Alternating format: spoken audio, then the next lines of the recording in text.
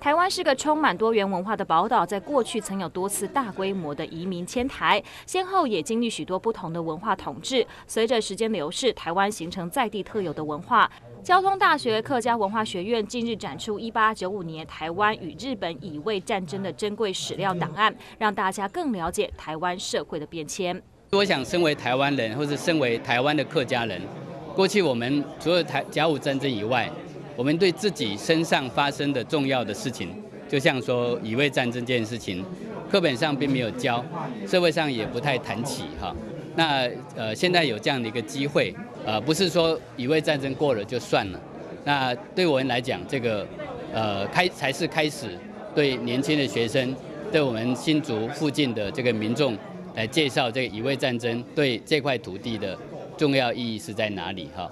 这次展览由多角度呈现一八九五乙未之意，除了展示乌当时公部门的史料档案，更收集到不曾出现过的私人文物，展现出当时清朝、台湾民主国以及日本三方之间的巧妙关系，让民众观看之后能够翻转对于这段历史的许多想法。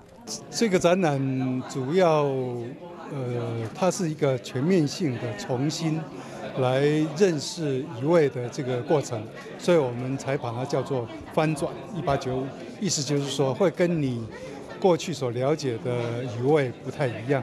它的保存的资料里面呢，又有有关台湾民主国的很多东西，比如说台湾民主国的邮票，甚至邮票折，都是过去没有出现的。另外，我们希望传达的一个概念是，我们要从老百姓的角度去看。他们对于以卫之役的观感，日本人来了，你终究是要生活的，那么你要怎么去面对？